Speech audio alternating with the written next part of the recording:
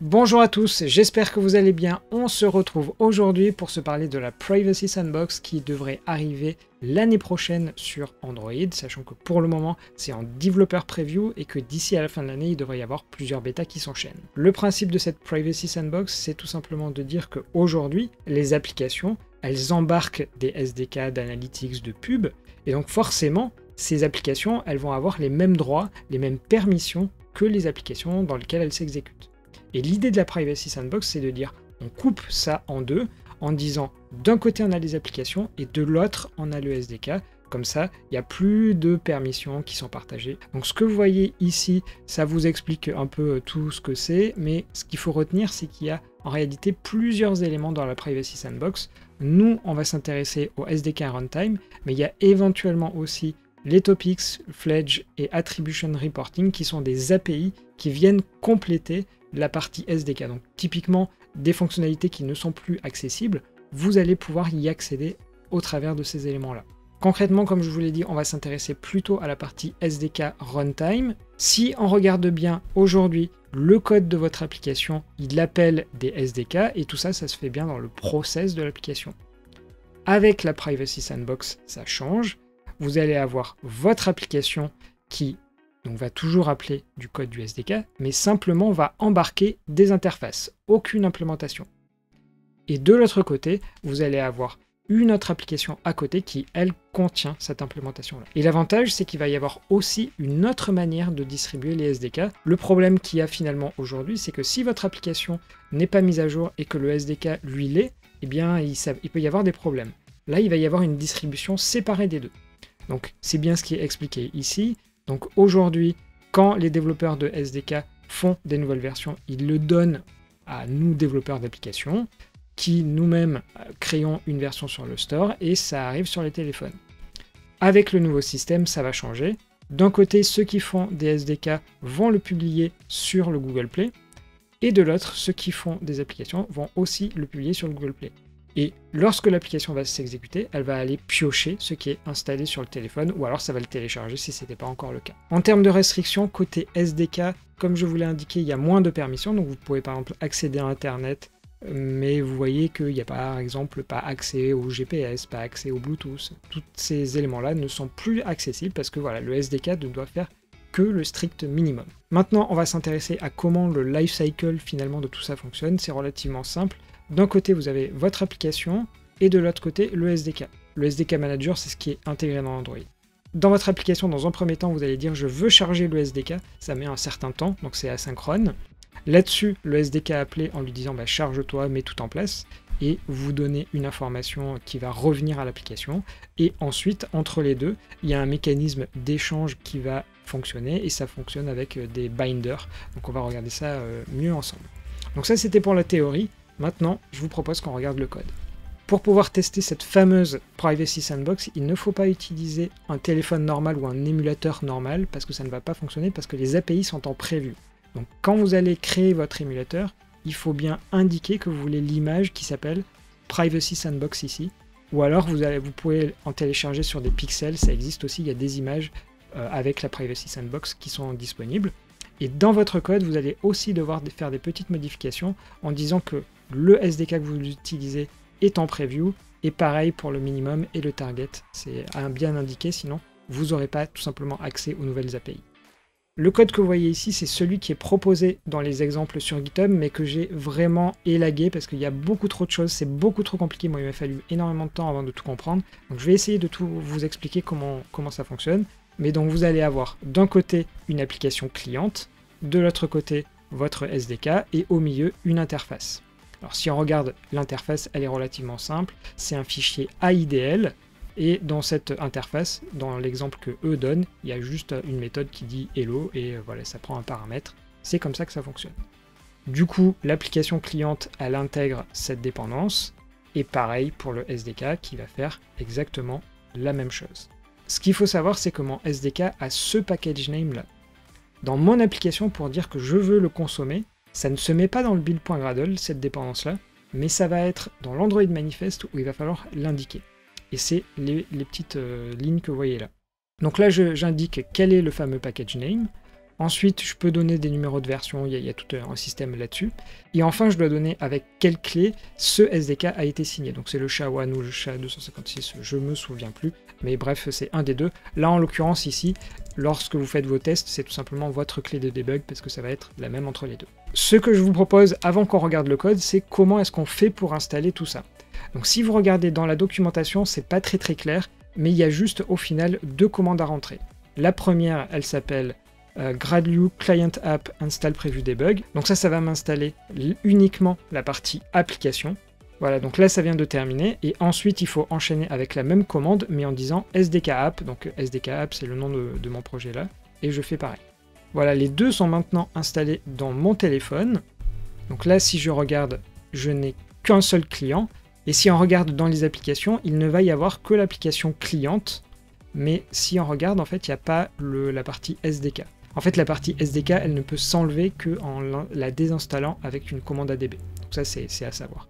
Si on regarde un peu mieux ce que fait cette application, vous allez voir que voilà à quoi elle ressemble. Donc à la limite, ça c'est pas le plus intéressant, mais il y a bien un bouton Load SDK qui est impératif pour pouvoir accéder aux fonctionnalités. Donc l'idée c'est que je vais appeler l'interface qui est ici au milieu que je vous ai euh, parlé euh, tout à l'heure, voilà, qui, passe un élément. Dans un premier temps, je charge le SDK.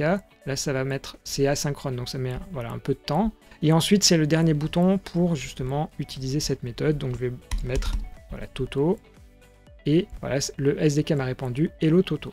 Côté SDK, comment est-ce que c'est fait? Eh bien, c'est tout simple. Vous allez voir que dans mon SDK API, je viens donc implémenter cette interface et bien je fais hello et la concaténation avec l'élément qui lui a été donné.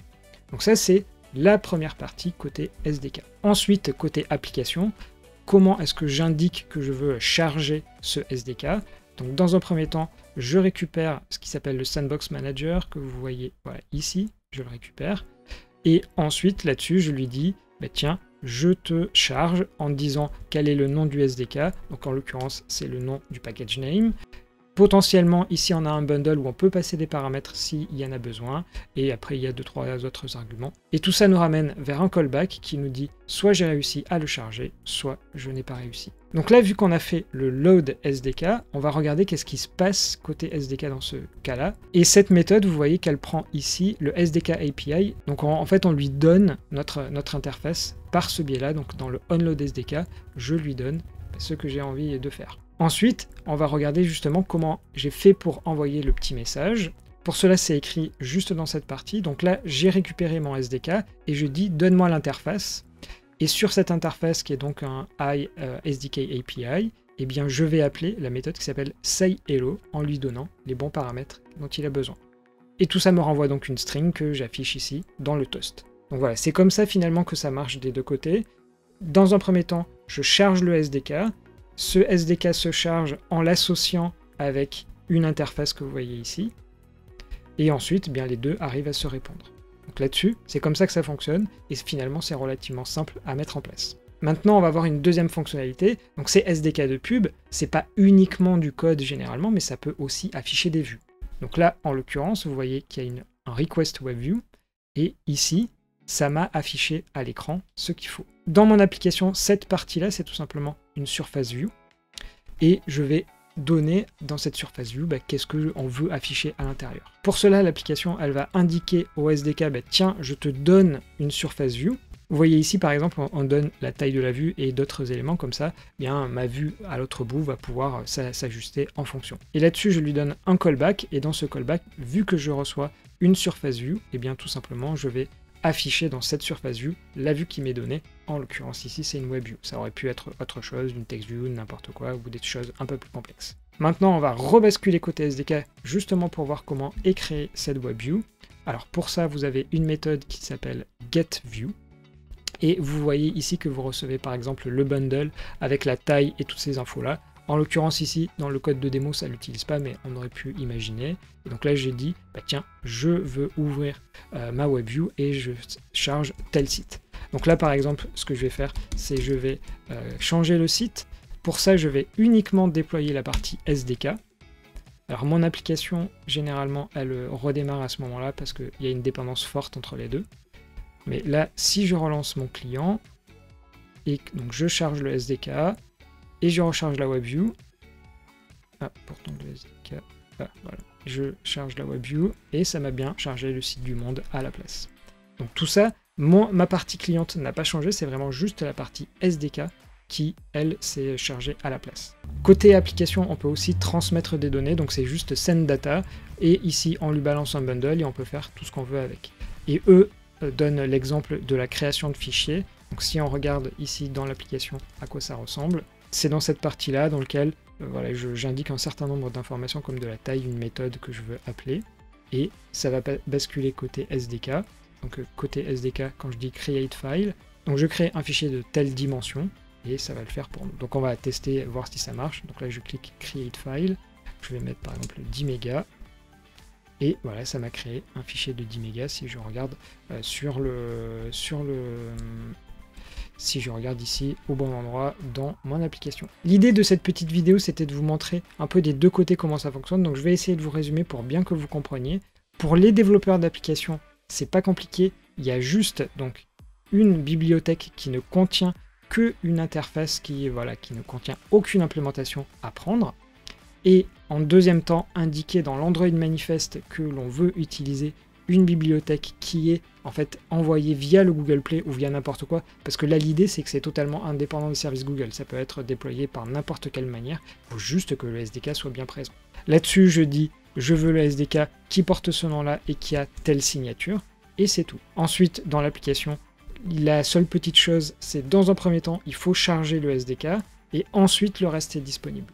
Et là-dessus, soit vous communiquez en envoyant, des messages, soit vous communiquez pour afficher une vue X ou Y. Et du côté du SDK, eh bien c'est un peu la même chose. Vous définissez simplement que vous voulez récupérer l'interface commune.